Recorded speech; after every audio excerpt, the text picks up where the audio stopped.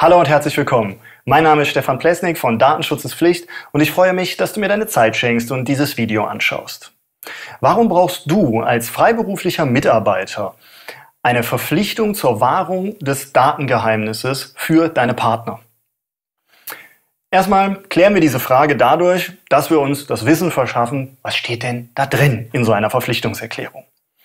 In so einer Verpflichtungserklärung steht drin, wer du bist, und wer diejenige Person ist, die dich verpflichtet, das Datengeheimnis zu wahren. Was ist das Datengeheimnis?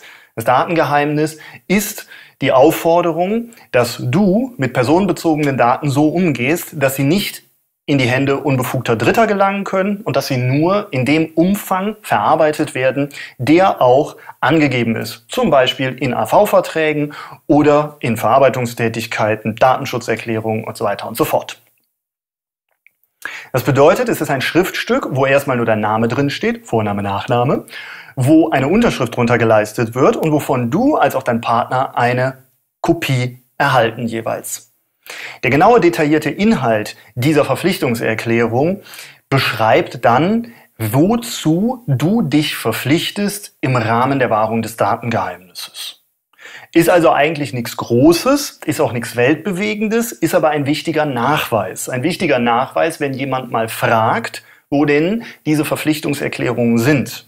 Denn zum Beispiel ist es so, dass wenn du jetzt für ein Unternehmen extern tätig bist und dieses Unternehmen hat Subunternehmer oder ist Subunternehmer von anderen Unternehmen und verarbeitet in deren Auftrag Daten, sprich dein, Kund, dein Unternehmen, was dein Kunde ist, ist Kunde eines anderen Unternehmens für Auftragsverarbeitung von Daten. Dann ist es so, dass dieses Unternehmen, für das du tätig bist, den Nachweis ihrem Kunden, ihrem Partner, Auftraggeber in dem Fall, schuldig ist, dass alle Personen, die mit personenbezogenen Daten arbeiten, sich zur Wahrung des Datengeheimnisses verpflichtet haben. Und er kann diesen Nachweis einfordern. Behörden bei Überprüfungen können das natürlich auch. Und dementsprechend ist es wichtig, dass auch du das nachweisen kannst. Wenn du jetzt ein cooler, voll auf Zack freiberuflicher Mitarbeiter bist, der gerne für seine Kunden arbeitet und ihnen das Leben einfach macht, dann wäre es natürlich am besten, wenn du diese Verpflichtungserklärung direkt mitbringst und quasi bei der Angebotsübermittlung sagst, wenn Ihnen dieses Angebot gefällt und Sie die Auftragsbestätigung zurückbringen möchten, zurück an mich tragen möchten, dann habe ich Ihnen direkt beigeliefert, hier ist mein Datenschutzhinweis, wie ich Daten verarbeite, die technischen und organisatorischen Maßnahmen sowie Subunternehmer, die ich einsetze. Außerdem habe ich Ihnen beigelegt die Verpflichtungserklärung zur Wahrung des Datengeheimnisses.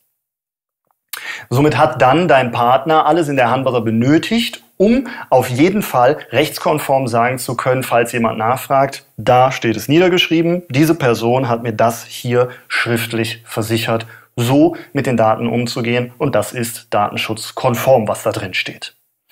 Wenn du so eine Verpflichtungserklärung haben möchtest, dann haben wir dir natürlich sehr gerne einen Link in die Beschreibung gepackt, wo du auf unserer Webseite ein Formular erhältst, wo dieses Dokument rauspurzelt, das du dann gerne nutzen kannst, um es an deine Auftraggeber zu übermitteln.